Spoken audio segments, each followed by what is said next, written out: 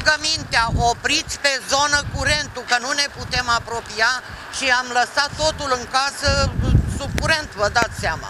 Incidentul a avut loc pe alea veteranilor din Buzău și a fost semnalat în jurul orei 10. Trei muncitori efectuau săpături chiar în vecinătatea unei benzinării. După ce au atins conducta cu excavatorul și au simțit miros de gaz, muncitorii s-au îndepărtat, iar angajații din birourile vecine au sunat la pompieri.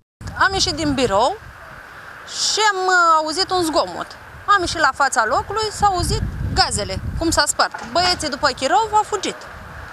Am intrat înapoi în birou, am anunțat-o pe doamna că s-a spart conductă și doamna a zis afară, haide să fugim. Și am venit aici, a anunțat la 112 și nici până acum nu s-a luat nicio măsură. La câteva minute după semnalarea avariei, ISU Buzău a trimis în teren un echipaj de stingere, a izolat zona și a evacuat toate persoanele din clădiri. Angajata unei societăți comerciale din zonă spune că i-a avertizat pe muncitori că în locul unde sapă se află o conductă cu gaze, însă oamenii nu au ținut cont de indicațiile femeii.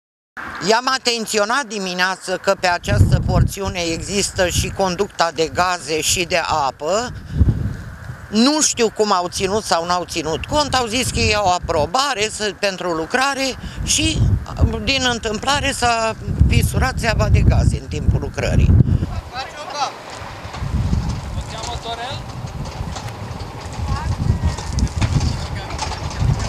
După sosirea echipelor de la distribuitorul de gaze naturale, muncitorii care au avariat conducta au fost chemați să sape din nou și să își îndepărteze cablul electric îngropat în pământ pentru ca reprezentanții Distrigaz să poată remedia avaria. Din fericire, totul s-a încheiat cu bine, defecțiunea fiind remediată după o intervenție care a durat puțin peste o oră.